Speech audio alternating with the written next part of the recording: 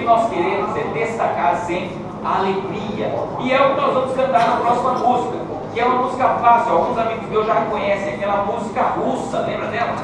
É. A canção foi escrita lá na Rússia, mas na versão que nós vamos cantar, aproveitaremos a ideia do seguinte: chega de tristeza.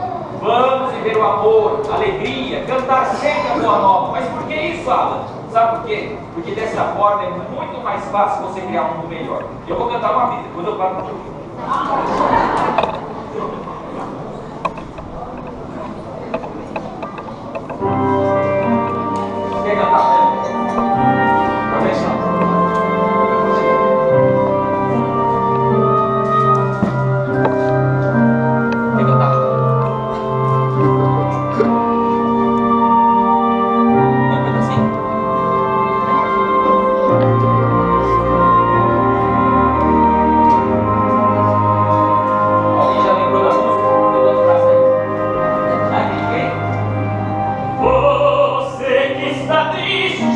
Sozinho, cheio de rancor no coração, livre-se das mágoas de outrora e pense no que diz esta canção.